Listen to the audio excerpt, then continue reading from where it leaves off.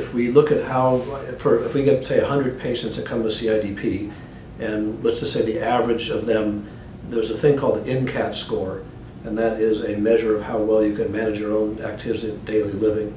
So can you cook, can you breathe, you know, bathe yourself, can you shop, can you get the mail, can you go to work, all those kind of things. So the worse the score is, I think the higher the score is, the worse you are, and the lower the score, the better you are. And so that's one way of measuring it. So we'll see a lot of people come in, they're wheelchair bound, they can't work, they can't manage their own life activities anymore, they have numbness, tingling, uh, weakness, and so the, that would give you an INCAT score of about four. And then after three to four months, sometimes six months of IVIG, most of those patients are probably 80% are completely recovered and they're able to do whatever they used to do before.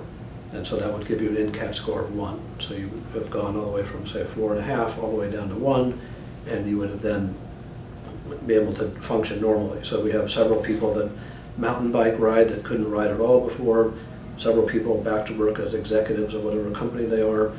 Um, many people don't ever get that bad to begin with, so, but the, the complexity of, of CIDP is it takes years to come on and then years to get diagnosed.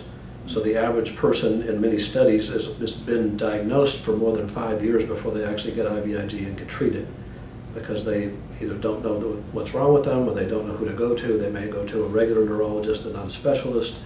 And so our average is several years from the time the person first notices something wrong to the first time they see a neurologist that can diagnose it, and then maybe a year after that before they try all the less expensive and initial treatments that maybe don't work for them before they then eventually try IVIG.